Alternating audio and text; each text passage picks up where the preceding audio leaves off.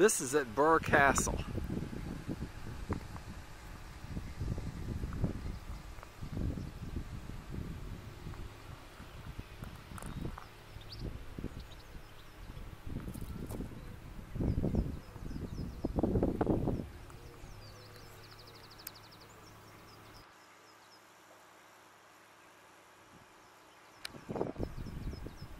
And that's the telescope. Hey students, this is the telescope of the Earl of Rosse who used it to investigate the Spiral Nebula uh, as we learned in class. Uh, well, to investigate the nebula and then discovered that they had a spiral structure. Um, and to use this giant telescope to do it. It's a 72 inch mirror. And it is made, as you can see, the, the, the tube of the telescope is made like a giant barrel. Um, it has staves and hoops. So uh, somebody in the barrel making business uh, gave some engineering advice on how to put this thing together. So here we go. We're going to look at what some of the parts of this thing do, does. Okay, first of all, that right there looks like the eyepiece. And these cables, I'm guessing, are involved in the focusing mechanism. All right. The thing was raised and lowered, and of course, I'm get up close on the barrel nature of the tube of the telescope. You can see the individual staves and then the, the, the metal hoops that go around it. So you can see this thing was built like a, uh, a, a, giant bur bourbon barrel. Um, then there's these cables, they're chains. They go up there, and you can see there's another one going up to there, right? So, and what they did was lifted the telescope up, right? To the there's a pulley up there. Back off, and then there is a weight there, a counterweight. So that pulley lifted the whole thing, and here's the other side, pulley on the other side, and that would lift the telescope up so it could be pointed up to the, up higher in the sky or lower in the sky. Of course, if you were going to observe with this telescope, and you were going to be at that eyepiece I just showed you, well, if eyepiece was raised up, then you were going to have to be raised up.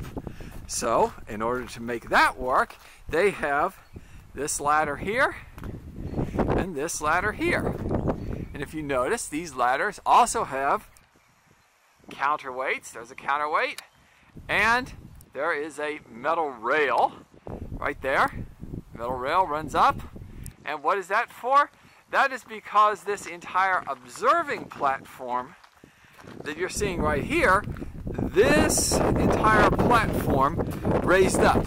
And this little observing stepper on her cage went with it. So this entire thing, okay, what you're seeing from there to here, all right, this whole thing rose and rose on those rails up the, and down on the ladder. And then this piece right here was adjusted on those rails, by which I mean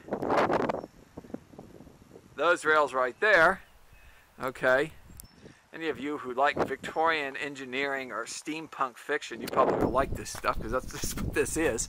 Um, so then this would be slid over to the telescope while this entire thing would rise up and down on the ladder rails so that you could put somebody at the eyepiece to watch where so wherever the telescope was up and down that you could you could uh, observe Meanwhile, to move the telescope back and forth, there was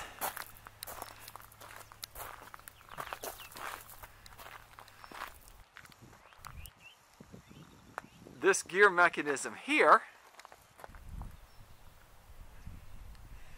Okay. And that moved it back and forth on that rail. You can see it's got markings as 30, 20, and so forth across. So those teeth uh, were used to, to, to move the telescope this way or this way. Now, how did that work? See this rod that comes out of here to that gear right there, and that gear right there is attached to a pole right there. So, the person at the eyepiece, I'm guessing, they had they had a crank attached to that, and so as stuff moved across the sky from east to west, and once you get the telescope up to the height it was supposed to be, then you could turn that crank, which turned that gear, which turned that gear, which ran that rod, which went down and engaged in the teeth on that thing right there. Come on, camera, focus, would you?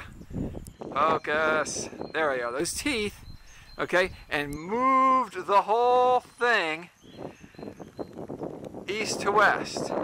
So, turn a crank on that, that rod turns that gear, that worm gear turns that gear, that gear runs that rod, that engages those teeth, and that moves the whole thing like this or like this as you wish to adjust it.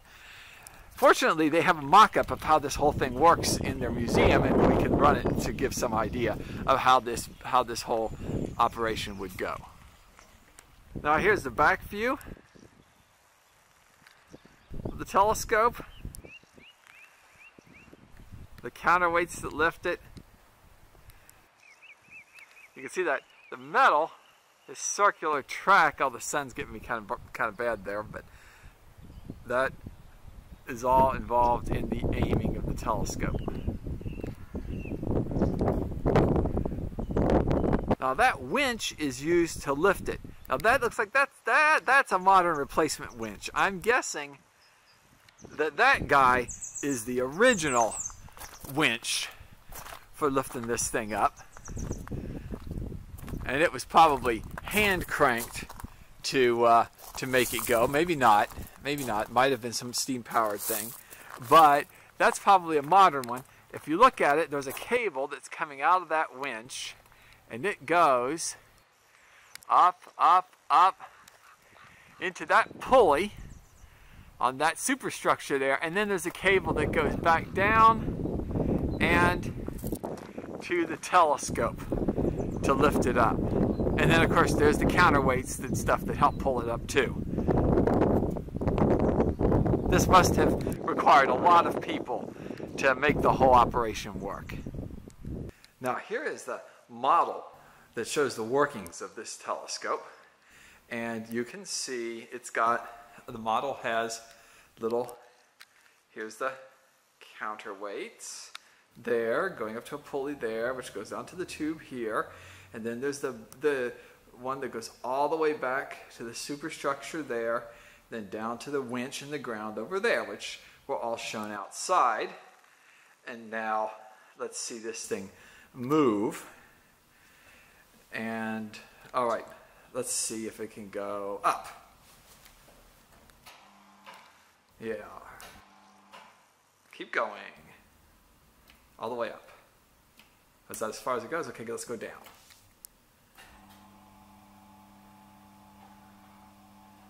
Okay, now let's pick it up again. Okay, stop. And now let's go left and right, which is, would be done by cranking those cranks and gears and moving that, that uh, all, all, those uh, teeth. Okay, push it. That's one way. And the other.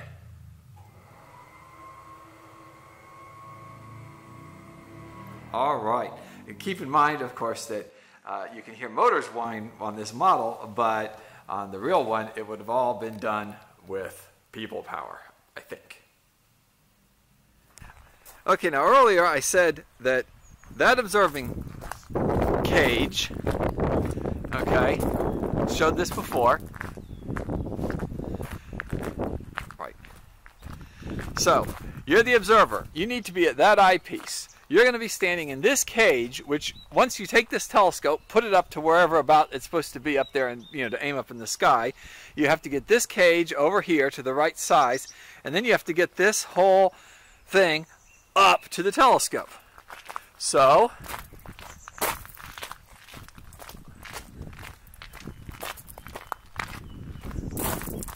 now, so you can see where it rides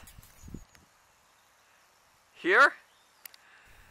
Chain runs it up along that track up to there. There's a counterweight right.